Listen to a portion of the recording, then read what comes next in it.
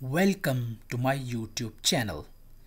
I'm Amir Shizad from RoshanTech eSite.pk.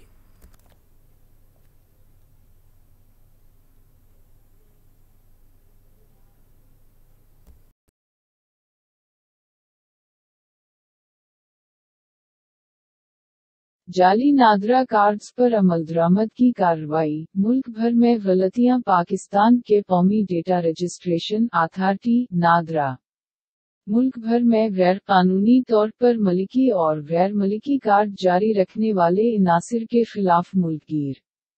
कार्रवाई के दौरान मुतद अफराद को बदानवानी का सामना करना पड़ा है। अफसरान भी शामिल हैं। मुल्क के मुख्तलिफ़ हिस्सों से नादरा के अफसरान की लपटा हो रही है। उसके बाद एक शनाख्ती कार्ड में शनाख्ती कार्ड्स के गैर कानूनी अजरा के बारे में ये बात सामने आई है कि उस मामले में ये अफराद शामिल हैं। है। उस पैगाम में अवामी शिकायत पर नादरा और तहकीकाती नवीद का कोई गैर मलिकी और गैर कानूनी कार्ड जारी हवा है, जिसमें मुख्तलिफ़ इनासिर के खिलाफ मुल्क के मुख्तलिफ़ शहरों में बड़े पैमाने पर कार्रवाइयों का आगाज़ हवा है।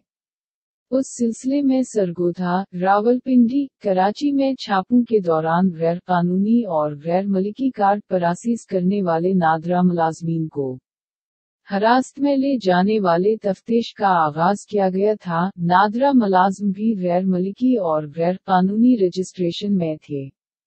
सख्त कानूनी कार्रवाई की जा रही है।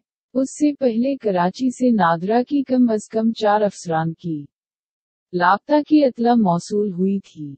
बीबीसी को गलत खबर देने वालों पर अफसरान के लवाहतीन ने बताया कि वर्दी और सोल कप्तान में मलबूस लोग उनके साथ आए थे जब नादरा के कुछ एहलकार भी शरीक हुए थे।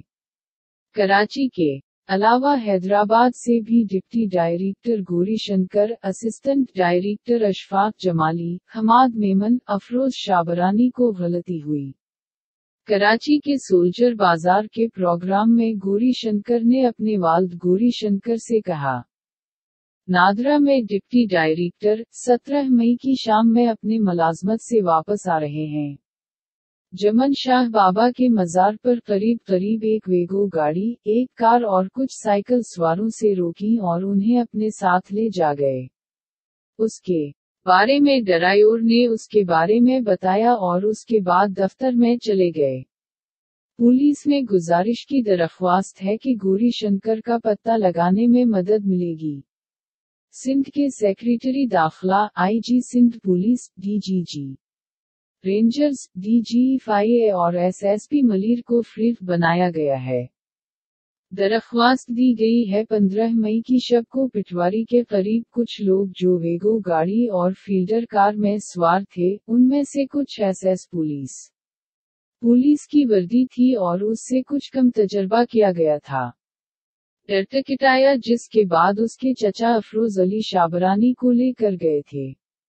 अफरोज शाबरानी गुजश्ता पंद्रह साल से नादरा में मुलाजमत कर रहे हैं।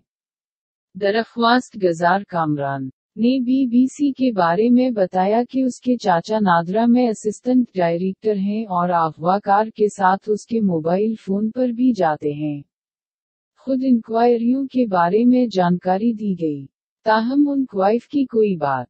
नहीं है। लापता हमाद मेमन एहलिया सायरा हमाद ने सिंध हाइड्रेशन हैदराबाद बेंच में शोहर की गमराही की दरख्वास्त दायर की है, जिसमें उनका इंतखाबी इंतखाब का इंतखाब किया है जो 12 अप्रैल को शोहर हमाद मेमन, नादरा में डिप्टी डायरेक्टर हैं। बदीन में डेवटी से वापस अपने घर हैदराबाद आ रहे थे, वो रस्ते से लापता था। उसकी वजह से उसकी कार लावार्स हालत में मिली है।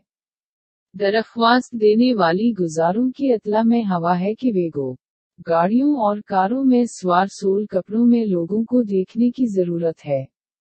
उस दरख्वास्त में सिंध के सेक्रेटरी दाखिला आईजी सिंध और एसएसपी बदीन कोर्ट इंडिया गया है। अदालत ने 3 जून से जवाब तलब कर लिया। लापता। डिप्टी डायरेक्टर गोरी शंकर की फैमिली की बात है कि वो सिंध की औरत मीर अजम खान दरानी से भी रबता कर सकते हैं